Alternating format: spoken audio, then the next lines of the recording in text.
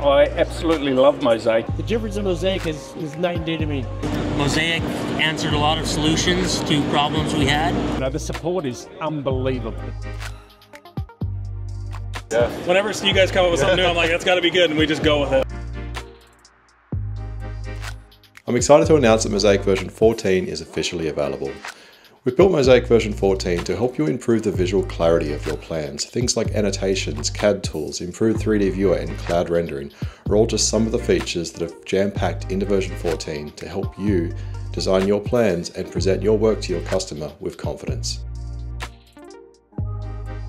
The cloud rendering, um, I love the fact that we can take uh, whatever it is that we've created and create a photorealistic version of it. What was like your favourite feature of Mozaik? What would be? Oh, the 3D rendering. 3D rendering. Yeah, yeah, yeah. The visualization. Our, our clients are blown away by, by what they're seeing. CAD tools are amazing. Just being able to annotate a drawing as you're drawing and yep. not having to jump into you know the multi-point tab. Yep. And I've even found it useful like making sure that my island ends up with flush with the fridge wall because now I can just draw that line yeah. and bring it over and make sure it lines up.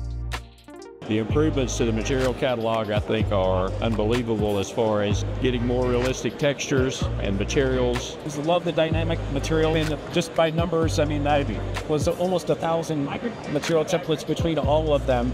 Basically, got them reduced down to about a set of about 20. I mean, I no longer have to have like a million different uh, material templates. That's awesome. awesome. It saves a ton of time the 3D viewer has improved a lot. I don't need to buy a 3D render yep. separately because the improvements in the 3D viewer have been very impressive. It gives better appearance for us, for our customers to have that high, high yeah, quality rendering um, in our drawing.